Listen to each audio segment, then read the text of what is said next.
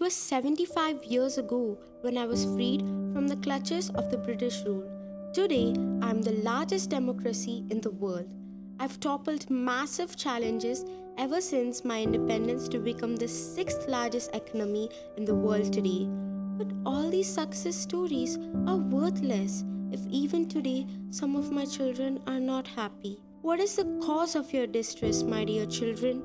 Despite being highly qualified and willing to work, I am unemployed. I have been looking for a job since the past two years. My inability to secure a job is making me depressed. You are privileged. You at least have enough resources to acquire education and to meet your requirements.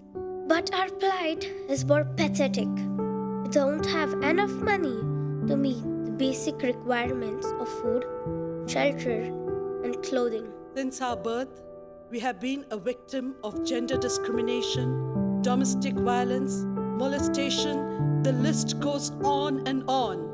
Because of our gender, we learn early that we must take extra precautions to be safe. After listening to you all, I feel that I'm blessed that I've not suffered these evils.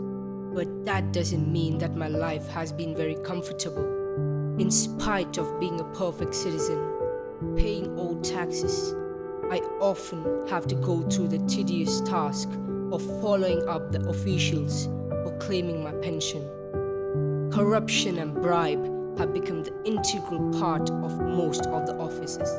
Though the very essence of our country is unity in diversity, I, as a student of a university, feel that fights on the name of religion, caste, creed, language, food preferences, etc., have become very prevalent in today's society.